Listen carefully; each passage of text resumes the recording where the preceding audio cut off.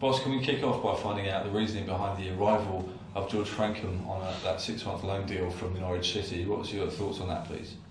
Yeah, I said before, we've been looking at some areas of the pitch where we need to strengthen. And George comes into that category that he can play right back and he can play midfield as well. So um, we're not going to be able to bring in loads of players, so it'd be important that some of the ones we can bring in can maybe fill in different areas. But uh, he's probably more of a right back than anything else. So um, we just felt we probably really only got Harty there. That's that's an out and out right back. So it was important that we, we looked at you know bringing someone in there that's that can play. Um, and he's he's a bit different to, to Harty as well. Um, so now we're pleased to have him in. We've we've had him watched a few times and um, I spoke to people down at Norwich and, and he, he comes highly recommended.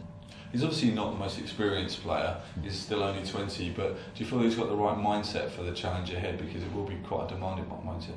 Yeah, well, I think the fact that he's had there was a couple of other offers in England for him, and he decided he wanted to come here, which was great because he knows he's coming into a situation that's um, is going to be a battle and a scrap, and uh, I think that's the type of individual we're looking for as well as being a decent footballer. If people that are willing to come and fight for the cause, and um, like I said, it would have been easier for him to go somewhere else where he would have just went and played and been comfortable. But he's come here for a challenge, which is great.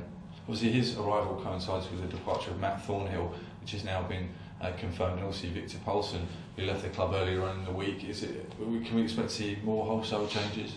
Well, I think there will be a few more gone. Um, like I said, we have spoke to players about leaving the club, and they know that. So, um, but obviously, you know, what's been here before hasn't worked, so we need to change something, and um, you know, players need to know that if, if it's if it's not going right, well then.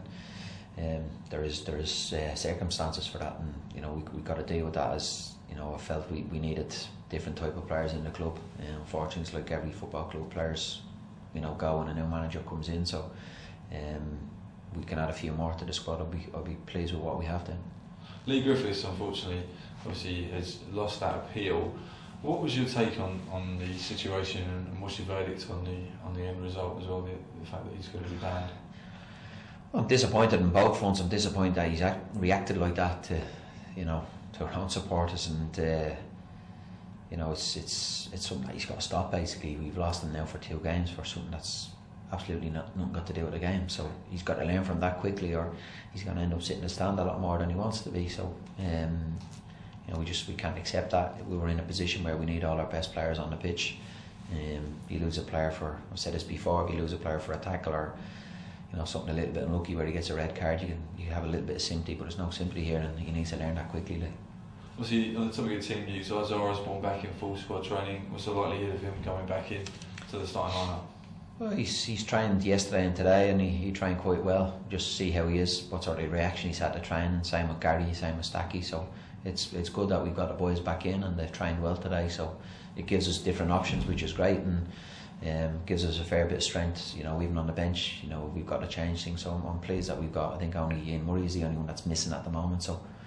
Um, you know, we're, we're, we're, we're firing on all cylinders, barring, so that's that's pleasing. Well, everyone's talked about the, the loss of Gary O'Connor and what he brings to the team, but just how important is Ozzy as, as a player to this current Hibs side? Yeah, he's a different type of midfielder to what we have probably with, with David and, Lewis. He's got a little bit more legs about and get up and get down the park, get into the box. So he's a you know he's, he's a big addition to have back to us. Like getting a new player today. To be honest, he's back training. He's, he's enthusiastic and he's a, he's a great lad. And uh, I'm delighted. He also gives a little bit more physical strength and, and presence within the team. So delighted to have him back.